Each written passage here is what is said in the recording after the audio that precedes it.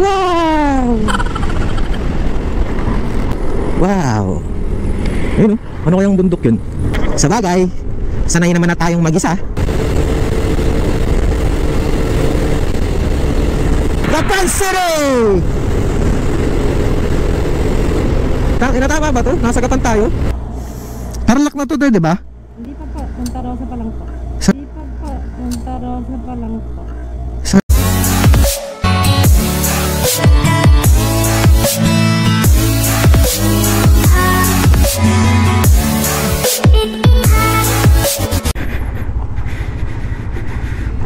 Okay. So ikakabit, babalik ulit natin yung ating waste. So meron tayong 92 kilometers pa. 2 hours pa to guys.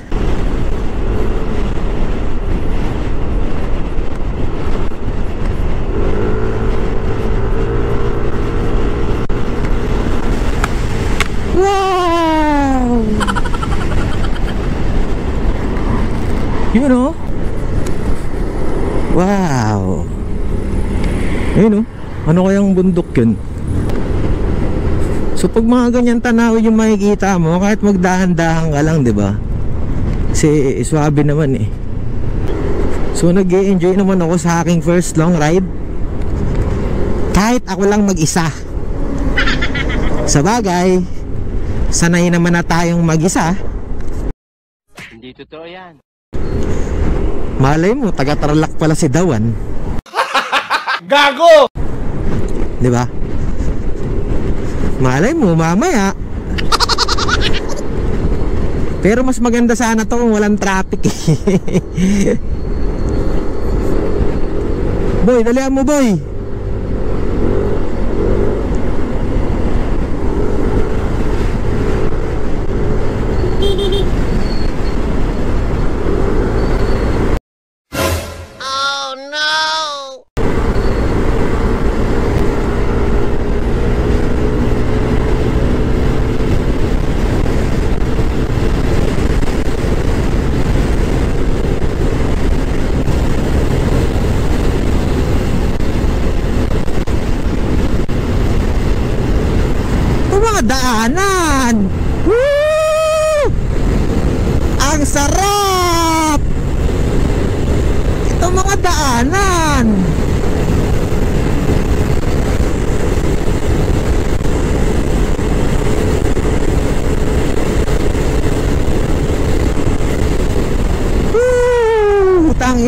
5 lang.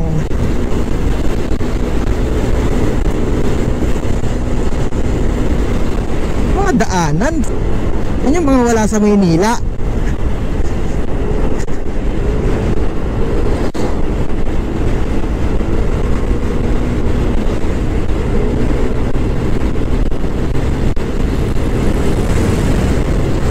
Wala sa Maynila.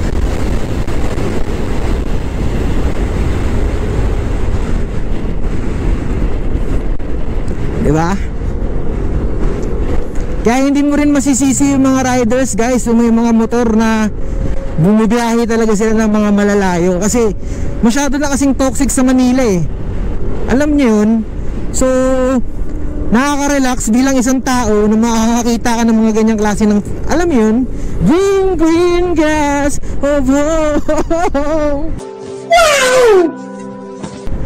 Diba? Makakita ka ng mga ganyang manggahan Diba? Saka makakakita niya sa Kamaynilaan Wala kang ganyan makikita dun. So sa mga ganyang klase pa lang Is Marerelax ka na.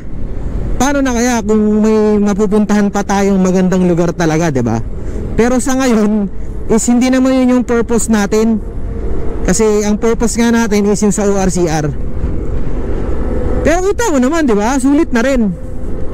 Di ka na rin lugi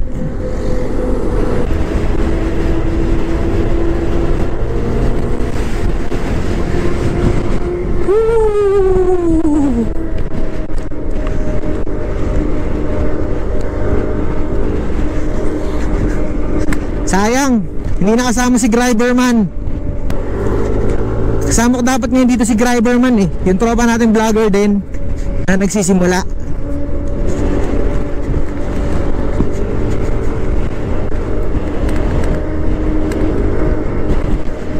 Mas maganda sana yung daan kung wala tong truck eh.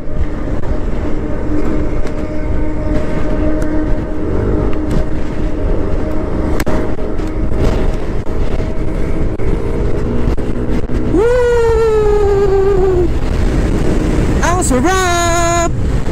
Woo!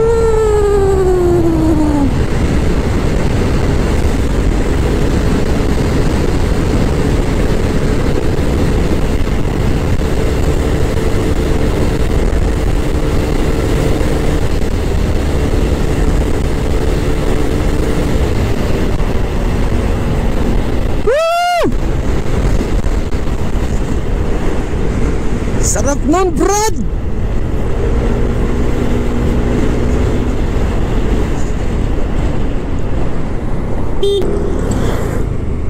Doon ko lang lalong nare-realize napakasarap talaga ang big bike yung dala mo.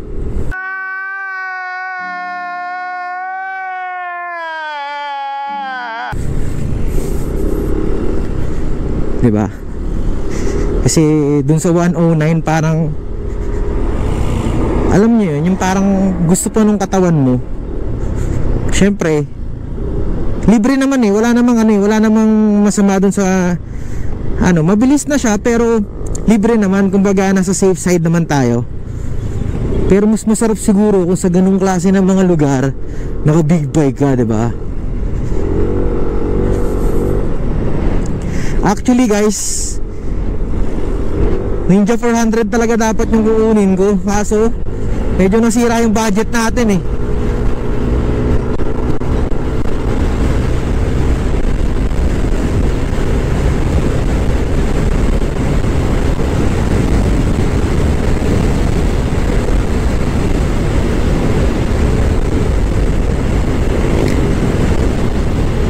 Eto na. Woo! Yun yung araya to. Ewan ko kung bundok yan. Gago! Yan ang mga daanan.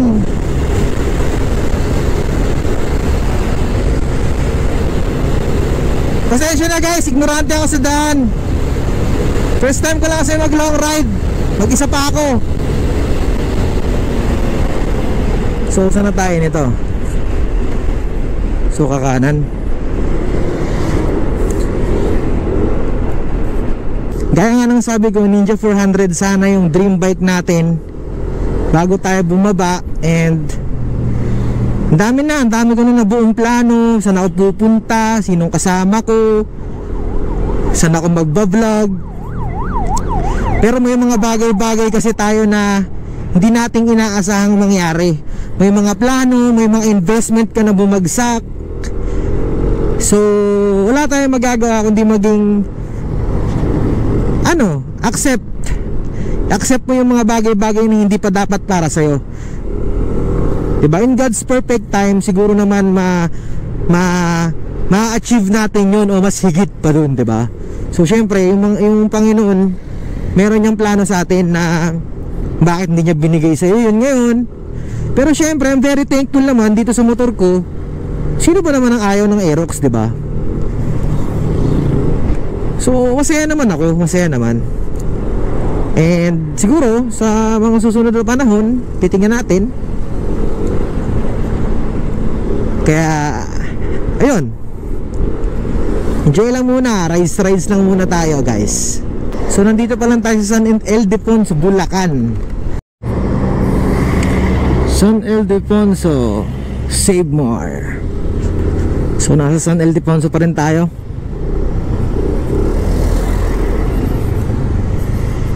Papansin nyo rin no? Pag probinsya na talaga yung lugar medyo medyo hindi na uso yung helmet sa mga tao. Yan tulad nyan nasa unahan.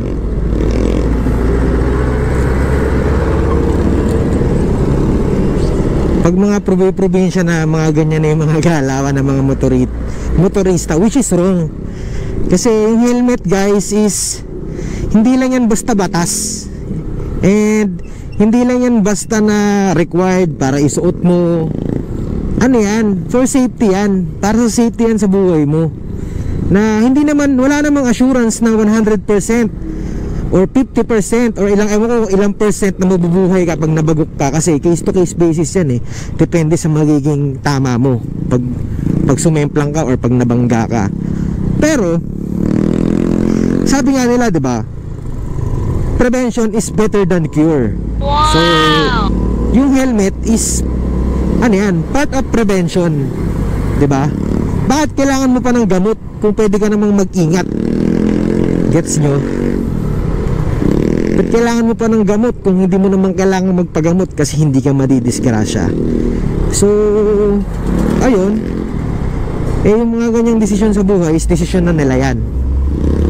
And dito kasi sa mga provinces, hindi naman masyadong mahigpit kasi dito.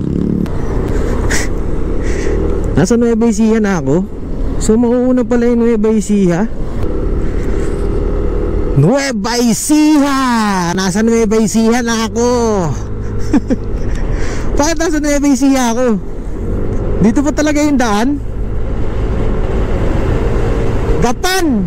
Andito na tayo sa Gapan! Welcome, Gapan! Woo! Gapan City!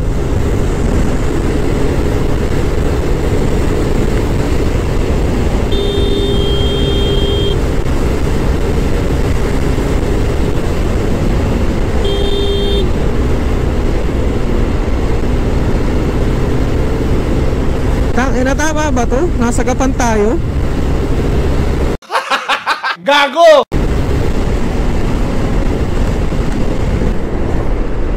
Una pala yung ano Hindi ko alam yun ah.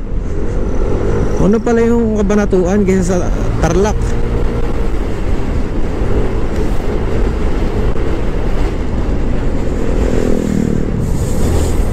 Alam nyo ba guys na itong kabanatuan na to matutunog to sa mga magagandang babae?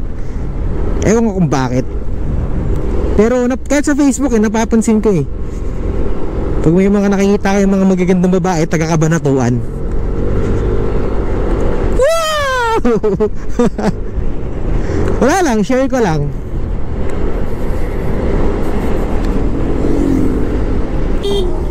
So papasok na tayo ng San Leonardo, Nueva Ecija.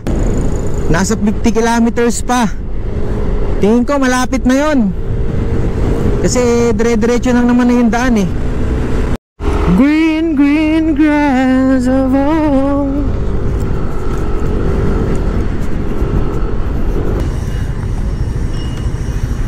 Kung nakikita nyo guys, ayun Tarlac.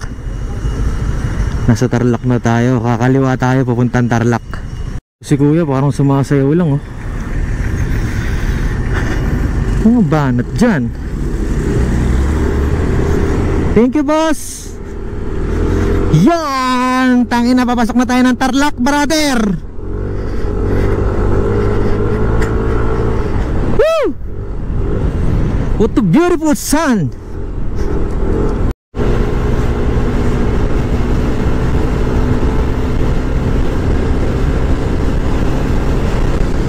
Woo!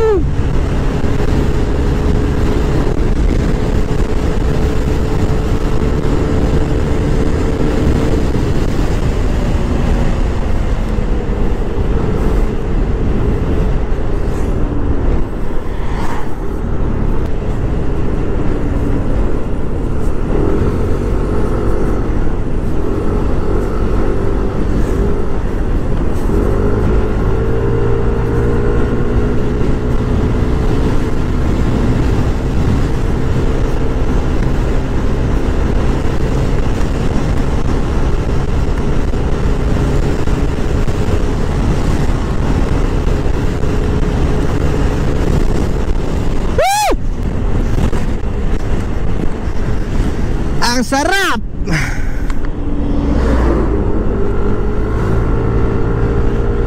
Ganto sa Maynila.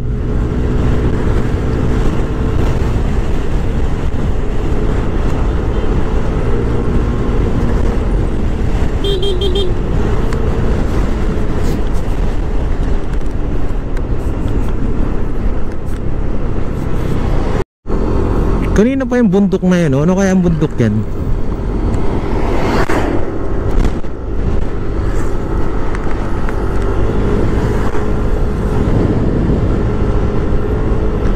Nagpapagas na pala ako. Ay utay. Ay nakalimutan kong magpagas. Ay tubar na lang akaw. Ay tunay nga namang sinasabi ko sa iyo. Ay ito. Gastisyon. Ay ito. Ay tayo mo pagas din ay. Gastisyon. Uy premium. Ay dito. Sige. Ay tayo magpagas.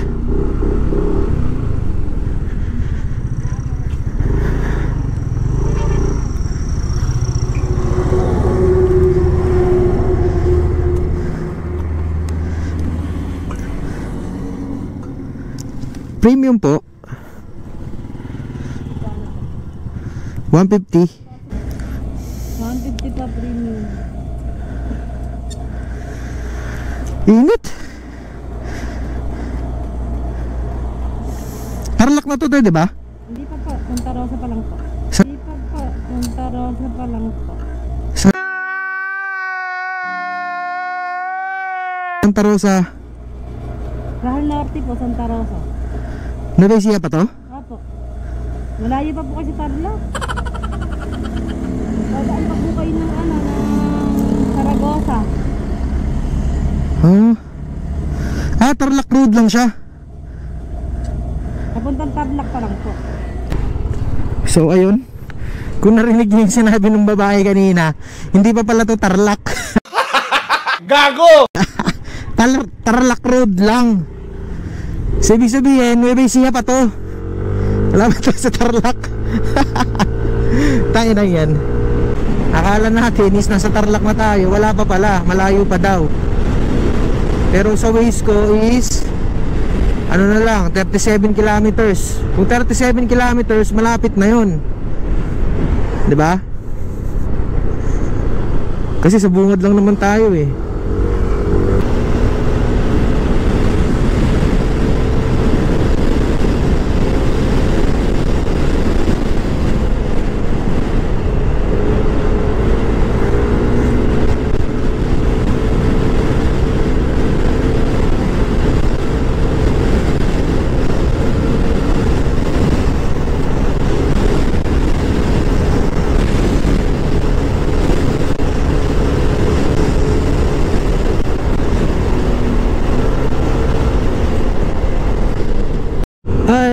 Got sunshine. So napakaganda po ng ulap ngayon.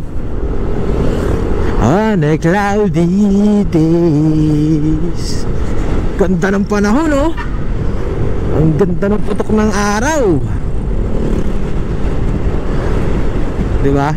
Sa Maynila hindi ka basta-basta makakakita ng ganyang klase ng ulap Kasi Puro usok na kasi doon Kumbaga Polluted na siya Unlike dito sa mga province, hindi naman siya ganoon din ka-fresh kasi meron na rin ano meron na rin naman mga sasakyan dito pero hindi ganoon ka ano. Hindi ganoon ka grabe katulad ng sa Maynila. Tingnan mo naman 'yan, Brad. Look at that. Diba? Yan ang mga langit.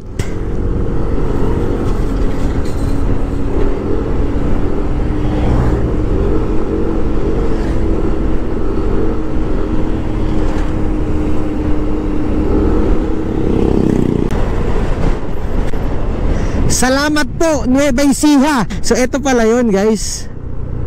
Selfie muna tayo dito. Selfie muna, selfie, selfie. Selfie muna.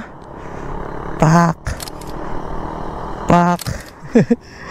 Picture natin yung motor natin guys. Yan. Pak. Okay, that's enough. And back to the ball game. Ayun guys, tips nga pala. Sa lahat po ng Salamat po Nueva Ecija. So sa lahat po ng papasok at lalabas ng Nueva Ecija Animal Quarantine Checkpoint. So wala na po mga checkpoint dito May mga ganyan. Wala pong bantay.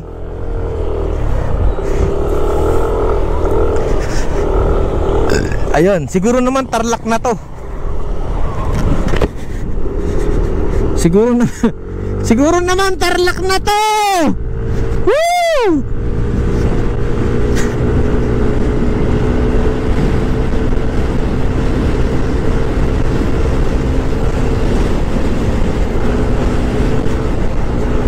Yung maganda yung daanan. Biyahing Norte! Woo!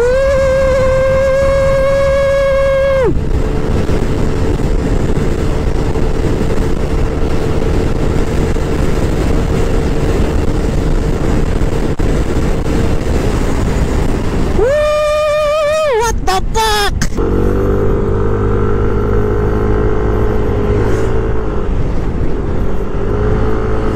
Tupig mais buko. So parang gusto kong tikman yung tupig ah. Mamaya na pag ano, pag pagbalik. So bibili tayo mamaya ng mga pampasalubong. Oh.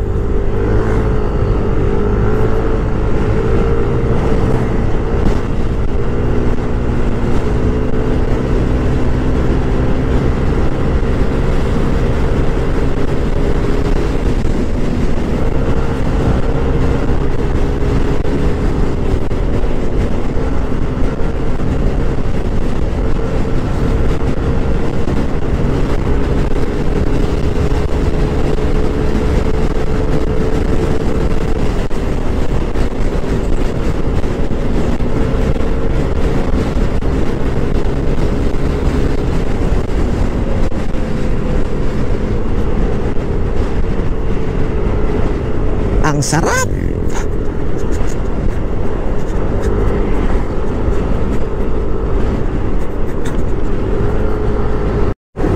So 12 kilometers na lang po tayo. Malapit na! 2 kilometers na lang po. So dito na yun. Welcome Ayan na siya, si Yamaha. Dealer Wheeltech Motor Sales Corporation. So, Square Building Burot, San Miguel, Tarlac. Tang ina, XSR.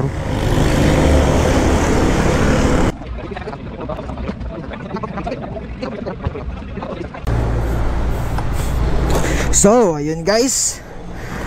And nakuha na natin yung ating pinaka-asamasam na ORCR So, pwedeng pwede na.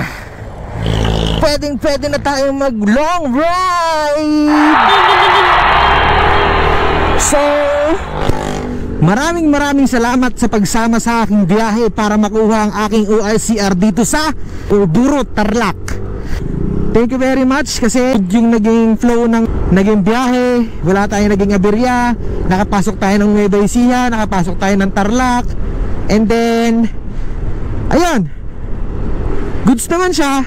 And safe tayo. So ang hihintayin na lang natin ngayon is Makauwi tayo ng ligtas. Pabalik ng Valenzuela. So ayun guys And Yun lang. At maraming maraming salamat sa lahat ng mga nanood. And bago dyan Shoutout muna tayo. Magsha-shoutout na ako ngayon. So shoutout nga pala dyan sa mga lahat ng sumusuporta Itong mga isa-shoutout ko guys, ito lang yung mga naaalala ko. Pero hindi hindi ibig sabihin na hindi kita naaalala is ayaw kitang i-shoutout. So kasi medyo nahihiya pa tayo mag-shoutout kasi parang wala naman tayong karapatang mag-shoutout pa. Pero may mga nagpapa-shoutout eh. So shoutout na lang natin William Ken Miranda. Sino pa ba? Si Patrick Buwan. Sino pa ba? Michael Trasmonte, Joshua Yan. Tapos sila ano, Bansuela family, Trasmonte family, Sipagan family. Yan, tapos sila sino pa ba? Sila Big Boy. Yan. Yan, Motor Rider Life. Tapos ano, The Visitors Clothing. Yan, shoutout natin yan. Tapos wala na, nakalimutan ko na, blanco na isip ko. So susunod na lang guys and yun lang at maraming maraming salamat.